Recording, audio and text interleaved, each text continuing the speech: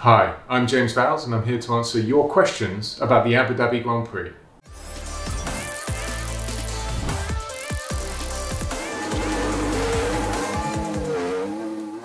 We've had a number of questions around why the pole position time in 2020 was around 7 tenths slower than what we had the year before. That's actually the first circuit for the circuits that have been mirrored across both years that we've been slower. The conditions are pretty much the same. It's the same track temperature, the same ambient temperature, so it's not bad. Often that can be a factor. The track itself has been resurfaced in a small number of places. Again, that's not the dominant factor.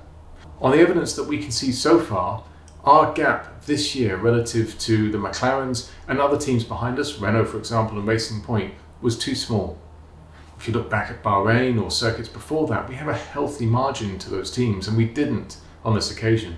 So part of the reason is that we underperformed in qualifying this year. The question is why? The C5 compound, the softest compound of the Pirelli range, is what we use. It's that soft tyre in Abu Dhabi, and we've used that before in Sochi. And it's a tricky little tyre to get into the right window, and I don't think we were absolutely spot on in getting it perfectly aligned with the track and the conditions. So I think in part that was the issue. We were a little bit slower. In fact, on Friday, we did a lap with Lewis that was removed because he went outside of track limits but that would have been quite a bit faster than what we achieved in qualifying. Just evidence that we didn't have it quite all together for qualifying itself. As for why it's such a big margin, 7 tenths, you will get the odd bit of variability year on year, even taking into account what I said on ambient conditions, etc. But ultimately, I just don't think we performed at our best. To answer your questions over why we double stacked the stops, why we didn't leave a car out, we really need to look at how all the tyres were performing in Abu Dhabi. We had three compounds there, the C5, the softest compound, which we used in qualifying, the C4, which was the medium compound, and finally the C3, which was the hard compound with the white band around the outside. Of all of those tyres, there was only one that was really performing very well on a race run, and that was the hard tyre. It was very durable. Our models predicted that you could run it quite easily from nearly the whole race distance, bar a few laps. More so, it had very little degradation, not enough certainly to make up a pit stop on that. So the reason why the whole field piled in on a VSC, so not even a safety car, we didn't know it was going to go safety car that time on lap 10, was because we knew that hard tyre can go to the end of the race, and you'll never make up that deficit in time that you'll gain as a result of the VSC. There were a few cars that were out and remained out, the Ferrari namely being two of them, but it didn't work out as well for them. Had we stayed out with Lewis or Valtteri, we would have been in the lead of the race, no doubt about that. But both Red Bulls would have had the edge on us. They would have been on a tyre that's actually better. The medium would have degraded very quickly. And whilst we would have been theoretically ahead on the road, we never ever would have pulled them out our pit stop window. In fact, it's predicted that they would have caught up to the back of us. Now we would have done as long a stint on that medium as we could, possibly around about 26, 30 laps, stopped and fitted the hard tyre. But now, with that pit stop being under full racing speed, we were forecast to never ever catch up to the back of Albon.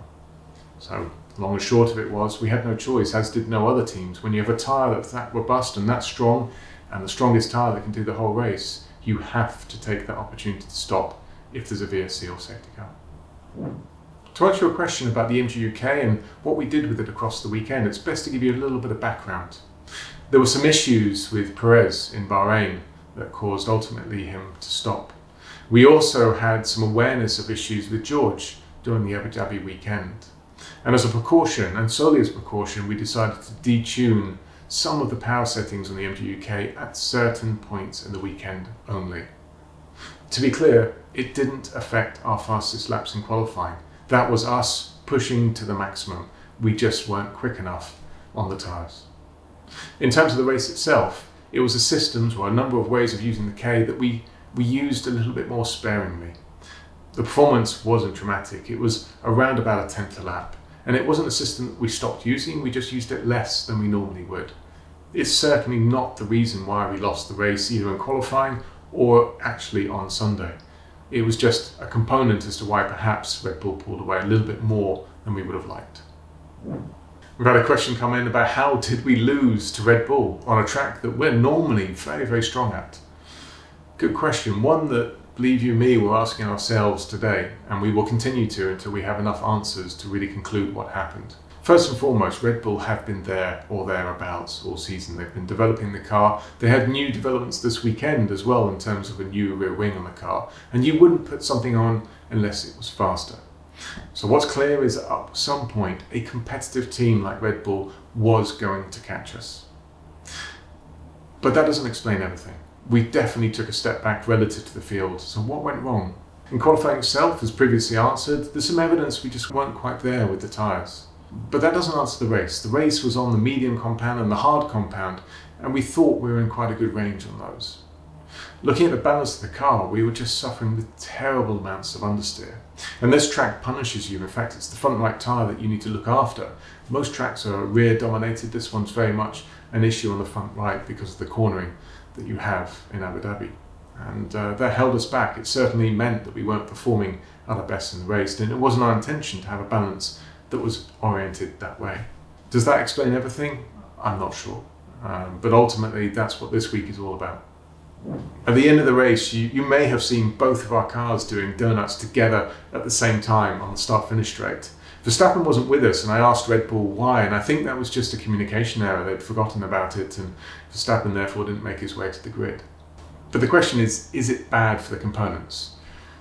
It's not brilliant. Um, you're running the engine near enough on the limiter as you're going around the circles. The gearbox itself depends on how you release the power down. If you progressively put the power through, it's okay. We've generally seen that we haven't damaged the gearbox terminally, but it's not great for any of the setup. Clearly, our car is not designed to have the rear wheel spinning and rotating around in circles for 30 seconds to a minute. But that car also would be stripped down after the race. Um, we do have a test, but it'll be built up of other components rather than the ones used that weekend.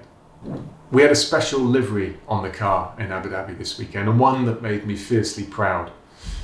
It was the names of everyone that's been involved in the project to win the championship this year.